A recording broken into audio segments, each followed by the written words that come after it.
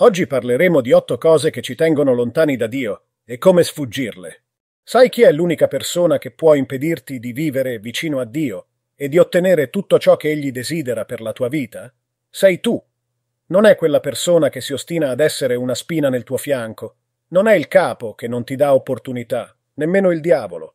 Quando abbiamo un desiderio genuino di avvicinarci a Dio, niente e nessuno può allontanarci da Lui. Nonostante ciò possiamo avere alcuni atteggiamenti sbagliati che ci tengono lontani da Dio e dalla sua volontà per noi. Evita i seguenti comportamenti se vuoi stare vicino a Dio. Pigrizia. Dio è un Dio d'azione ed è per questo che si rallegra quando vede che facciamo passi di fede e siamo pronti ad agire. La Bibbia parla chiaramente in Proverbi 6, dal versetto 9 all'11, contro la pigrizia e il danno che essa può causare nella nostra vita.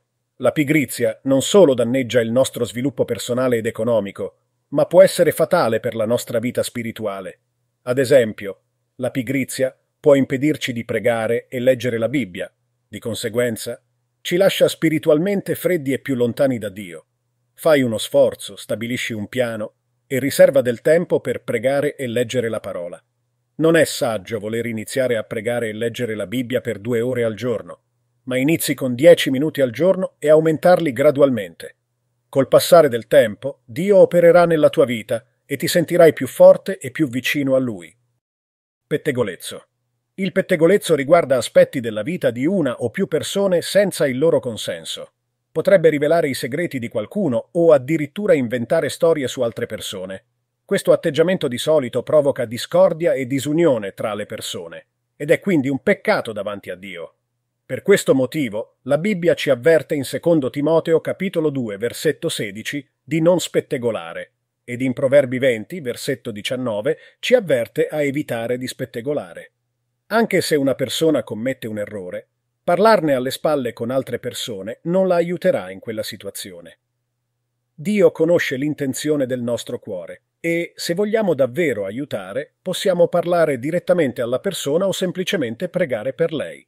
Efesini 4, versetto 29, ci dice che se le nostre parole non servono ad edificare, è meglio non dire nulla. Invidia.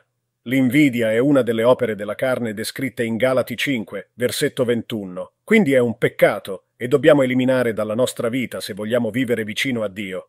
Essere gelosi di qualcuno significa voler avere qualcosa che non è tuo, e questo spesso provoca un sentimento di disgusto quando qualcuno ha successo in un certo ambito della sua vita.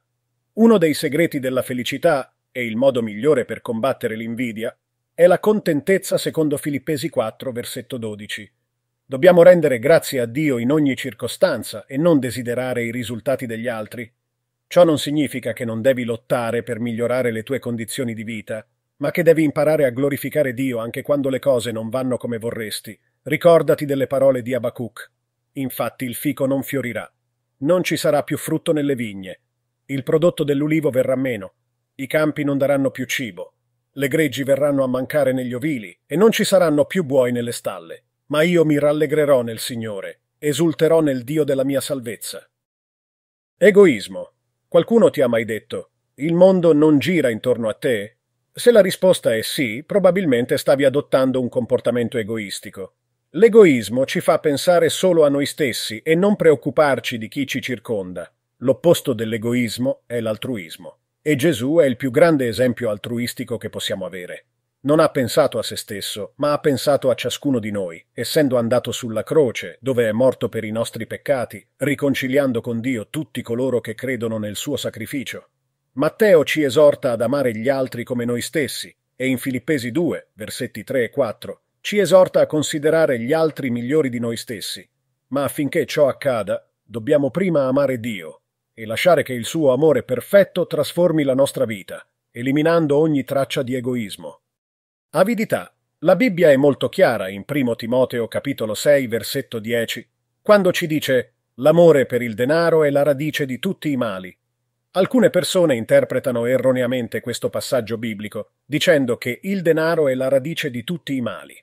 Ma avere soldi non è il problema. Il denaro è qualcosa di neutro, Può essere usato per fare cose buone o cattive. La Bibbia parla di diversi uomini timorati di Dio che erano piuttosto prosperi in termini di possedimenti, come Giobbe e Abramo. Il problema è quando amiamo prima il denaro e non Dio. Gesù stesso ha detto che non è possibile servire Dio e il denaro. Quando amiamo il denaro, Dio perde importanza nella nostra vita. Alcune delle più grandi atrocità commesse in questo mondo sono commesse a causa dell'amore per il denaro. Ama Dio sopra ogni cosa e non lasciare che il denaro controlli la tua vita e i tuoi sentimenti, così sarai più vicino a Dio. Rabbia incontrollata. Un attimo di perdita di controllo e di rabbia può bastare per distruggere la vita, la tua e quella di altre persone. La rabbia di per sé non è un peccato, perché la Bibbia dice che è possibile arrabbiarsi senza peccare. Ci sono momenti nella nostra vita in cui è normale arrabbiarsi per una situazione. Anche Gesù si adirò quando vide che i mercanti commerciavano nella casa del Padre suo. Il grosso problema è quando la rabbia arriva in modo prolungato e incontrollato. Quando la rabbia controlla la nostra vita, ci allontaniamo da Dio. La mitezza è uno degli aspetti del frutto dello Spirito e attraverso di essa possiamo evitare che la nostra rabbia si trasformi in peccato. La parola di Dio ci comanda in Tito 3, 2 di essere operatori di pace e gentili con coloro che ci circondano. Immoralità sessuale. Il nostro corpo è il Tempio dello Spirito Santo e quando pratichiamo qualsiasi tipo di immoralità sessuale, pecchiamo contro il nostro stesso corpo, profanando la dimora dello Spirito Santo e causando una separazione da Dio. L'immoralità sessuale consiste nei peccati sessuali, il sesso non è una brutta cosa, è stato creato da Dio per essere vissuto tra due persone di sesso opposto e sposate. In quanto creatore della sessualità, Dio determina il modo corretto di praticarla. Qualsiasi attività sessuale praticata al di fuori del matrimonio è immoralità sessuale, cioè è un peccato. Abbiamo bisogno di vivere pieni dello Spirito Santo che ci dà l'autocontrollo per poter resistere alle tentazioni e sfuggire all'immoralità sessuale. Idolatria Molte persone non comprendono il concetto di idolatria dicendo che l'adorazione di una statua o di un altro dio è idolatria. Ma la verità è che l'idolatria può essere molto più sottile e quindi più pericolosa. L'idolatria è mettere qualcosa o qualcuno al posto di Dio.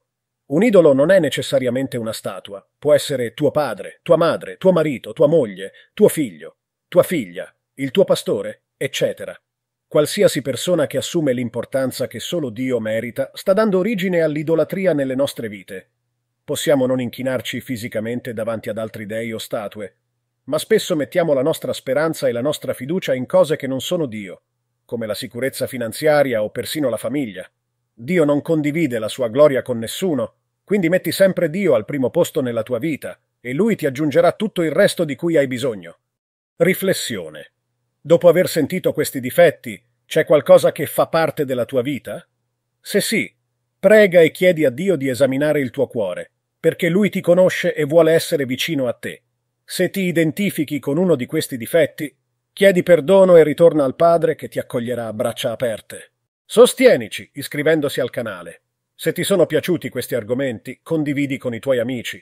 Un abbraccio e Dio ti benedica.